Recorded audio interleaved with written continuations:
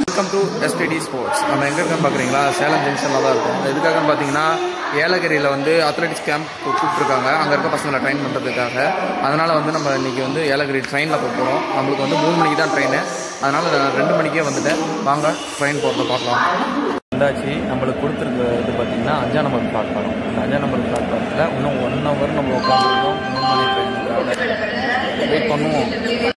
தூரத்தில் ட்ரெயின் வரும்போது நம்ம என்ன பண்ணோம்? வீடியோ எடுக்கலாம் அப்படின்னு சொல்லி எடுத்துட்டு இருந்தோம். சென்டரில் ஒரு செல்ஃபி போடலான்னு சொல்லிட்டு செல்ஃபி போட்டுருந்தாரு.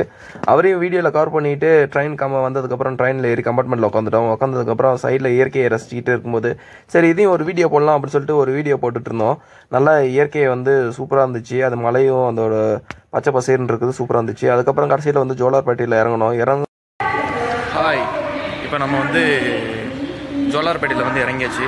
இப்போ நம்ம சேலத்துலேருந்து ஜோலார்பேட்டைக்கு ட்ரெயினில் தான் வரணும். அதுக்கப்புறம் பார்த்தீங்கன்னா இங்கேருந்து பார்த்தீங்கன்னா நம்ம ஏலகிரிக்கு பஸ்ஸில் தான் போகணும்.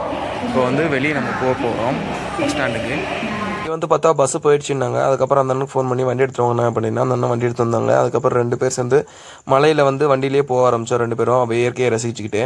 ஓகே நம்ம வந்து இந்த வழியில் தான் நம்ம வந்து மலை ஏற போகிறோம் ஏலகிரி போகிற ரூட்டு அண்ணன் கூட தான் ஒரு பைக்கில் ட்ராவல் பண்ண போகிறோம் வாங்க பார்க்கலாம். அப்புறம் வழி என்ன சூப்பராக இருக்கும். உங்கள் வீடியோவில் பார்க்கலாம். அந்த அண்ணன் பைக் ஓட்டிகிட்டு இருந்தாங்க. அதுக்கப்புறம் நம்ம என்னடா பண்ணுறதுன்னு பார்த்தா அதுக்கப்புறம் சரி வீடியோ எடுக்கலாம் அப்படின்னு சொல்லிட்டு வீடியோ எடுத்துட்டு இருந்தேன்.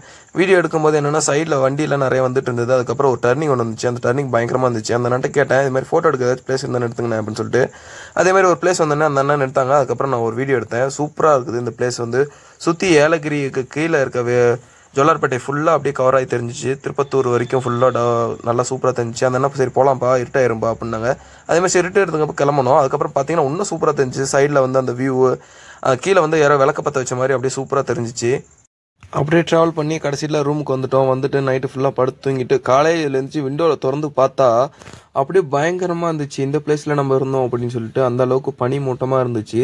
அந்த பார்க்கறதுக்கு பயங்கர சூப்பராக இருந்துச்சு. அது அப்புறம் எந்திரிக்கலாம்னு சொல்லிட்டு எந்திரிச்சு போய் வாஷ்ரூம் போயிட்டு நல்லா குளிச்சுட்டு வந்துட்டு கிரவுண்டுக்கு போகலான்னு சொல்லிட்டு கிரவுண்ட் ரெடி ஆகிட்டு இருந்தேன். சரி அடுத்த வீடியோ வந்து நான் கிரவுண்டில் போயிட்டு எப்படி ஒர்க் அவுட் பசங்களுக்கு சொல்லி தரேன்றது அடுத்த வீடியோவில் பார்க்கலாம்.